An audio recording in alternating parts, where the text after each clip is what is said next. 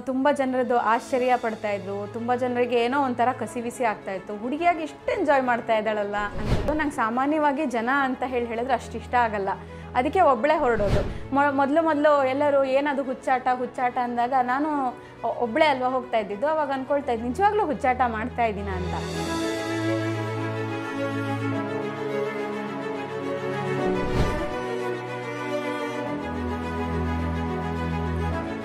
ಅನುಭವಗಳು ಅಂತ ಹೇಳಿದ್ರೆ ಬಹಳಷ್ಟು ಬೇರೆ ಬೇರೆ ದೃಷ್ಟಿಕೋನದಲ್ಲಿರುವಂತಹ ಅನುಭವಗಳು ಇದರಲ್ಲಿ ಆಗಿದೆ.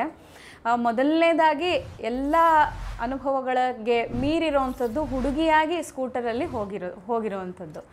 ಹಾಗೆ ಹೋಗಬೇಕಾದ್ರೆ ಎಲ್ಲರ ನೋಟ ಬೇರೆದೇ ಆಗಿರ್ತಾ ಇತ್ತು. ತುಂಬ ಜನರದ್ದು ಆಶ್ಚರ್ಯ ಪಡ್ತಾ ಇದ್ರು. ತುಂಬ ಜನರಿಗೆ ಏನೋ ಒಂಥರ ಕಸಿವಿಸಿ ಆಗ್ತಾ ಇತ್ತು. ಹುಡುಗಿಯಾಗಿ ಇಷ್ಟು ಎಂಜಾಯ್ ಮಾಡ್ತಾ ಇದ್ದಾಳಲ್ಲ ಅಂತ ಹೇಳಿ. ಇನ್ನೊಂದಷ್ಟು ಜನ, ಇಲ್ಲ, ನೀ ಹೋಗು, ನಾನು ನಿಮ್ಮ ಜೊತೆ ನಿಲ್ತೀನಿ. ಎಲ್ಲರೂ ಒಂದು ಕಡೆ ನಿನಗೆ ಉಳ್ಕೊಳ್ಳೋಕೆ ವ್ಯವಸ್ಥೆ ಆಗಲಿಲ್ಲ ಅಂತ ಹೇಳಿದ್ರೆ ನಾನು ಮಾಡಿಕೊಡ್ತೀನಿ ಅಂತ. ಈ ಥರದ ಪ್ರೋತ್ಸಾಹ ಪ್ರೋತ್ಸಾಹದ ಅನುಭವ ಕೂಡ ಆಯಿತು. ಇನ್ನೊಂದು ಸ್ವಲ್ಪ ಜನ ಹೆದರಿಸಿದ್ರು ಕೂಡ, ನಾಳೆ ಏನಾದರೂ ಆಗ್ಬೋದು ಯಾರೂ ಈಗ ಪ್ರೋತ್ಸಾಹ ನೀಡುವಂಥವ್ರು ಮತ್ತೆ ಯಾವಾಗಾದರೂ ಆವಾಗ ನಿನ್ಗೇನಾದ್ರು ಆದಾಗ ನಾನಲ್ಲ ಅಂತ ಕೈ ಎತ್ಬಿಡ್ತಾರೆ.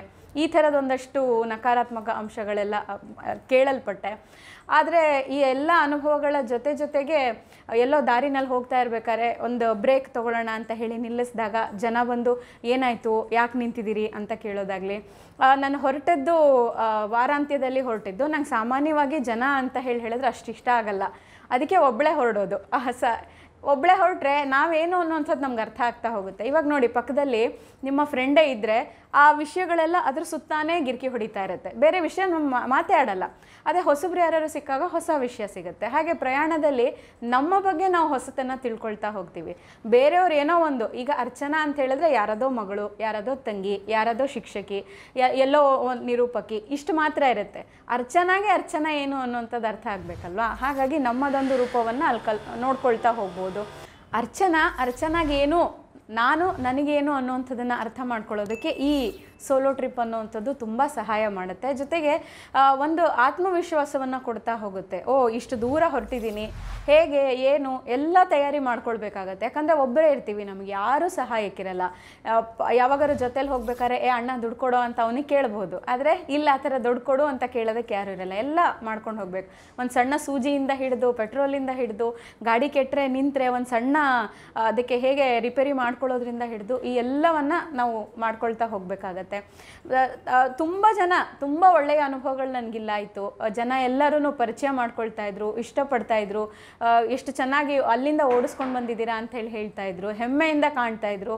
ಮನೇಲಿರುವಂತಹ ಹೆಣ್ಮಕ್ಳಿಗೆ ಹೇಳ್ತಾ ಇದ್ರು, ನೋಡು ಅವಳು ನೋಡಿ ಕಲ್ತ್ಕೋ, ಅಷ್ಟು ದೂರದಿಂದ ಇಷ್ಟು ದೂರಕ್ಕೆ ಬಂದಿದ್ದಾರೆ ಅಂತ ಹೇಳಿ ಹೇಳ್ತಾ ಇದ್ರು. ಆವಾಗೆಲ್ಲ, ಓ, ಹೌದಲ್ವಾ, ನಾನು ಏನೋ ಹೊಸ ಕೆಲಸ ಮಾಡ್ತಿದ್ದೀನಲ್ವಾ ಅಂತ ಹೇಳಿ ಅನ್ನಿಸ್ತಾ ಇತ್ತು. ಮೊದಲು ಮೊದಲು ಎಲ್ಲರೂ ಏನದು ಹುಚ್ಚಾಟ ಹುಚ್ಚಾಟ ಅಂದಾಗ ನಾನು ಒಬ್ಳೆ ಅಲ್ವಾ ಹೋಗ್ತಾ ಇದ್ದಿದ್ದು, ಅವಾಗ ಅನ್ಕೊಳ್ತಾ ಇದ್ದೆ ನಿಜವಾಗ್ಲೂ ಹುಚ್ಚಾಟ ಮಾಡ್ತಾ ಇದ್ದೀನ ಅಂತ. ಈ ಥರದ ಮಾತು ಕೇಳಿದಾಗ ನನಗೆ ಓ, ಇಲ್ಲ, ಸರಿಯಾದ ದಾರಿನಲ್ಲೇ ಹೋಗ್ತಾ ಇದ್ದೀನಿ ಅಂತ.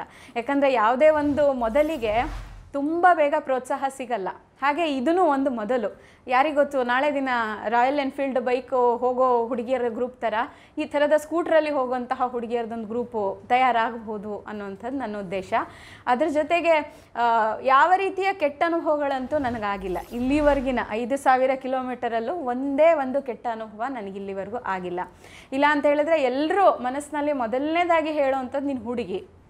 ಏನು ಬೇಕಾದರೂ ಆಗ್ಬೋದು. ನಾನಿವತ್ತು ಧೈರ್ಯವಾಗಿ ಹೇಳಬಲ್ಲೆ ಏನೂ ಆಗಲ್ಲ ಅಂತ